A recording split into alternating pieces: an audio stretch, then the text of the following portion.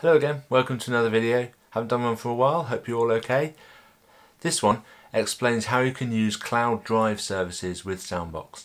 So that's Google Drive, OneDrive, Dropbox, any of those really, um, because some things have changed, as you'll see in a moment. So let's get to it. Okay, so what has changed, you may say? Well, a lot of people have noticed that when you open Soundbox now, and go to Options, there's something missing here. There used to be a section about connecting to Dropbox where you could set up your account and have it automatically save the recordings there. And in settings, there was a Dropbox section. That's now gone. The reason for this is that Dropbox have changed the way applications can connect to their service, and Soundbox used the old way. And because of the change regarding the letter that happened with the um, move to the JW library, it wasn't deemed necessary to move Soundbox with the new Dropbox connection method, or API as it's called. It wasn't worth the effort. But you may still want to use some cloud drive services such as, as you can see here, I've got all three of them installed so I can demonstrate to them to you. We've got Google Drive, OneDrive from Microsoft, and Dropbox itself. You can still use those, but it's not directly built into Soundbox. So don't worry, we just have to do a little bit more manual work, that's all.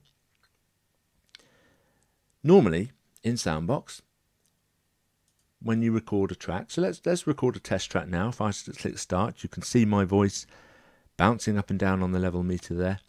So it's recording me at the moment. So if I stop that, you can see that the file is going to be called Friday 14 July 2007-001. So if I stop that, it'll fade out. Let's close Soundbox and open Explorer and those files are normally stored in your documents folder so this PC and then documents. If it was an older Windows, it could be my computer and then my documents. But let's go to documents, scroll down all the way down to the S. So we've got Soundbox. This is where Soundbox stores a lot of files. This is where the background image is stored, for instance. But we're looking for the recordings folder, which is here. So if we go into there, it now separates everything out into year and month. So there's 2017, there's 07 because it's July. And there's the date, the 14th of July in, Ameri in American format, I think. I'm not sure.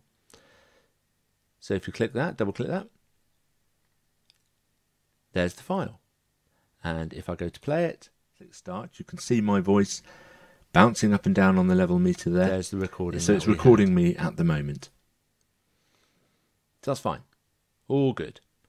That's where they're stored normally. So if this is a computer at the, at the hall, that's where they would be stored.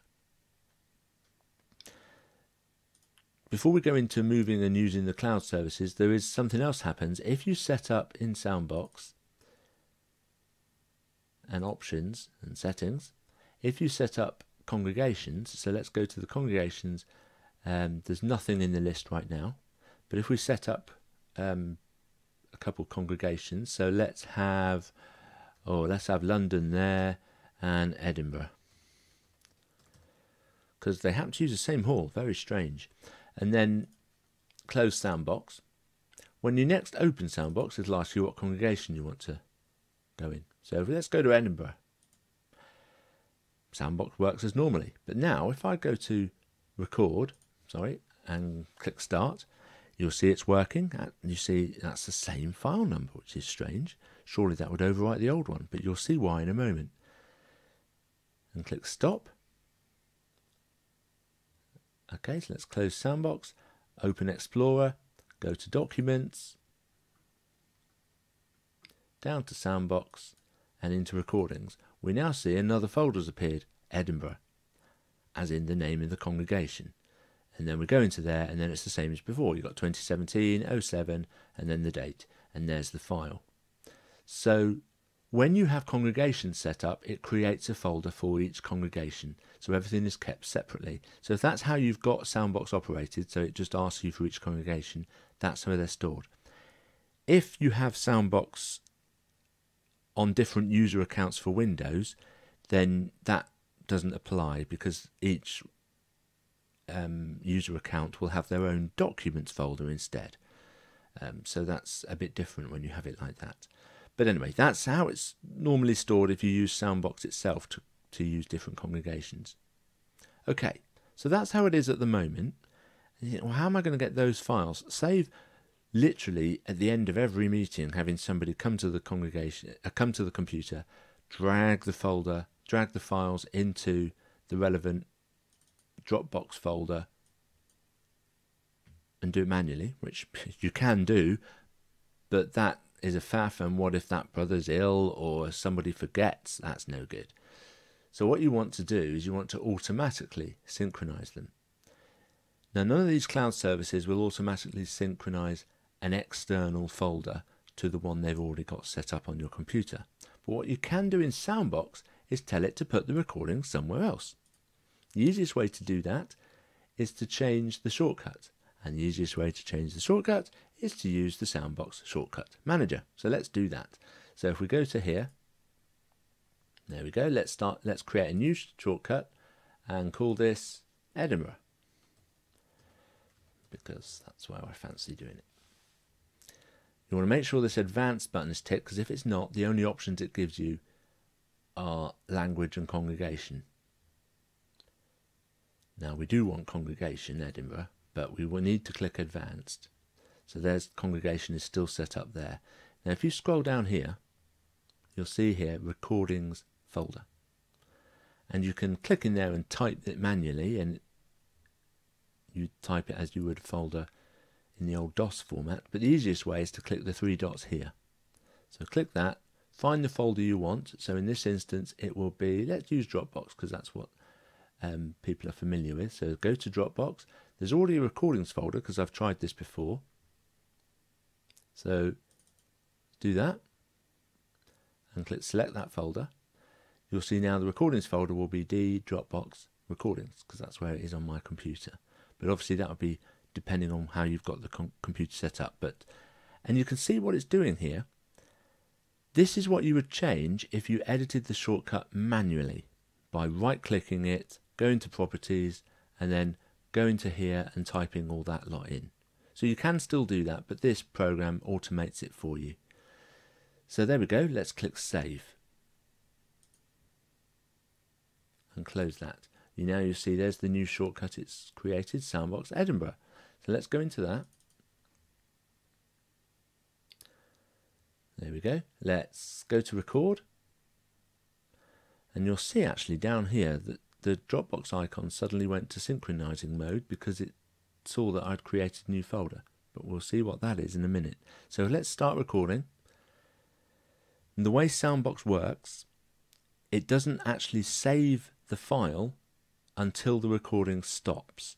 So you won't have a problem where the um, synchronizing software is constantly trying to synchronize a file that's being written to all the time.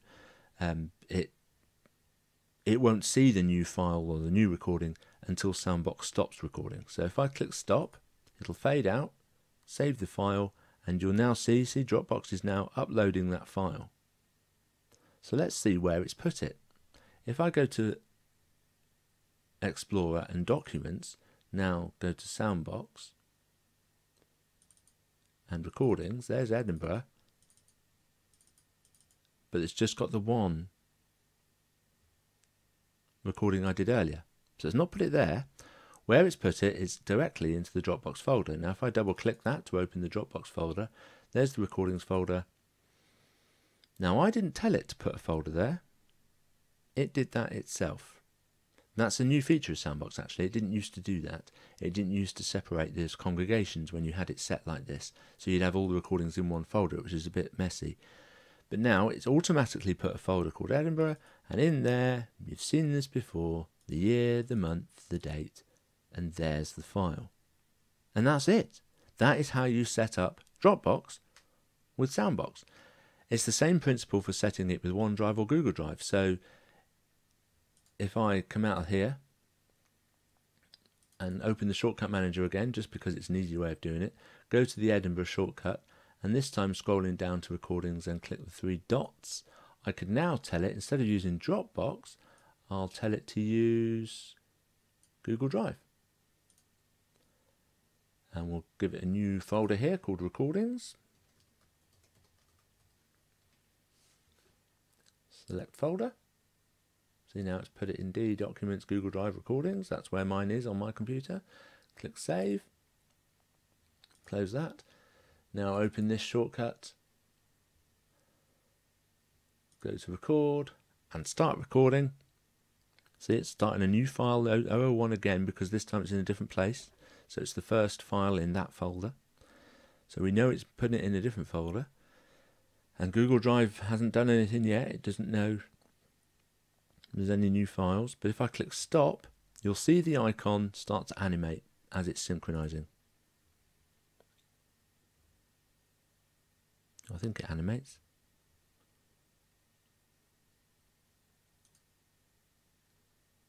Oh, there you go. It did it so quickly you didn't even notice it. So now, if I close Soundbox, go to my Google Drive folder, there's now recordings. It's automatically made a folder called Edinburgh. There's the, the year, the month, the date. There's the file. And just repetition for emphasis, if you want to use OneDrive, again, change the shortcut by using the shortcut manager. Click the shortcut you want to change Make sure everything else is set correctly, but go down to recordings. This time instead of Google Drive, we'll put it in OneDrive, which is up here. Oops. I've already got a,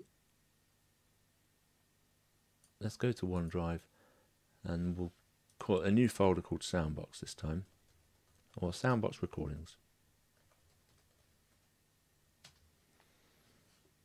Select folder, save, close that. Now open Soundbox and you'll see OneDrive synchronized, but actually it did it so quickly you didn't notice it. So let's go to record. Oh, there you go. See, it's synchronizing the new folder that's been created. It's gone. It's done it so quickly. Click start to start a new recording. Again, you know it's in a new folder because it's got 001 there and we'll chat for a couple of seconds and then click stop. It'll fade away and you'll see the icon down here. Suddenly get the there we go the two hours synchronized. So let's close soundbox are you getting bored yet? Double click OneDrive. Well actually you don't. You click OneDrive once and then click the folder now the new program. We'll go to down. There's soundbox recordings what I just created. There's the congregation name there's the year, there's the month, there's the date, and there's the file. Okay, that's it. That is how you use any cloud service with Soundbox. You just edit the shortcut using the shortcut manager. As, as you've seen, you can do it manually by right clicking the shortcut, going to properties, and then typing those options in. But as you can see, it's quite difficult to get to the right place. Um, with the mouse cursor you have to click in there and then use the arrows go one character at a time. It's it's much easier to use the shortcut manager. I mean this is perfectly doable but it's it's a bit of a faff because you can't see what what's been typed very easily. Um, but all the if you want to do it manually all the um, codes that you need to type in there are in the manual. So just press F1 when Soundbox is open and it does explain it all in there but uh, the shortcut manager is so much easier. Again, if you've got any questions with this, please let me know in the comments down below, or if you've got a serious problem that you need help with, uh, please don't use the YouTube comments for that. Please go to the help desk for Soundbox by going to Soundbox and in options, clicking the help desk link, and, and we'll sure to help you on there instead. Okay, so thanks very much for watching. See you soon. Bye.